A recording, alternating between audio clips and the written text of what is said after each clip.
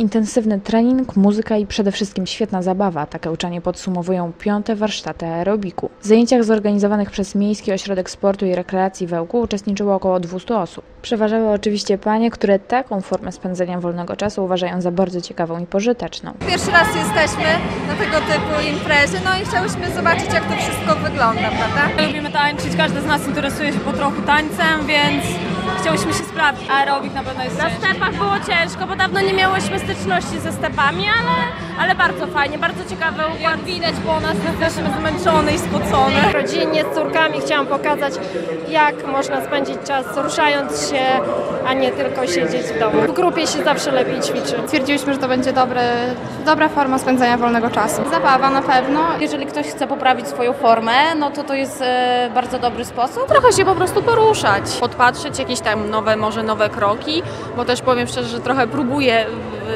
w, fitnessie jako instruktorka, no ale takie na, na razie początki, także chciałabym trochę też może się podszkolić. To, że można słuchać muzyki, tańczyć i przy tym dobrze się bawić. Ja na fitness zaczęłam chodzić 3 lata temu, po tym jak rzuciłam papierosy i tak od tamtej pory mnie wciągnęło to. To, że- to, że to jest taka godzina dla mnie, że mogę się wybawić, się wyskakać, się wypocić, przemyśleć wszystko i wracam do domu pełna energii. Na uczestników warsztatów czekał m.in. aerobic dance, yoga i dance show. Jednym z najbardziej wyczerpujących zajęć były zajęcia ze stepu. Jak przyznaje instruktorka Renata Połubok, trening stał na bardzo wysokim poziomie. Uczennice spisały się bardzo dobrze, ponieważ choreografia była naprawdę trudna.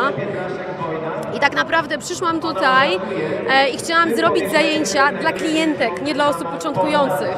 Także pierwsze zajęcia z panem Krzysztofem Wolskim na pewno zdecydowanie były dla osób początkujących, natomiast moja lekcja już była dla osób, które systematycznie uczestniczają, e, chodzą do fitness e, klubów.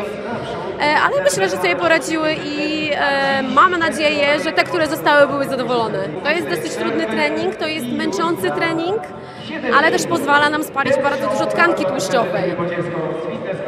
Także warto ćwiczyć na stepie. To kolejny rok, kiedy frekwencja na warsztatach aerobiku była tak duża, dlatego organizatorzy już zapowiadają kolejne edycje. Chcemy zachęcić Jałczan do aktywnego spędzenia czasu, mówi Dariusz Jerzewski z Zełckiego Mosiru. blisko e, 200 uczestników. Bardzo cieszymy się z tak e, dużej frekwencji. E, Zainteresowanie jest ogromne. E, Cieszymy się, że zarówno osoby starsze, jak i młodzież garnie się do aerobiku.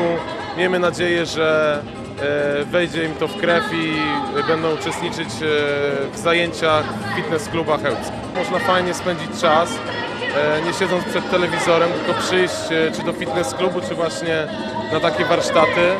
E, Tak jak wspomniałem, jest bardzo dużo młodzieży, także e, też taki cel, żeby pokazać dla tych młodych ludzi, jak można fajnie spędzić e, czas.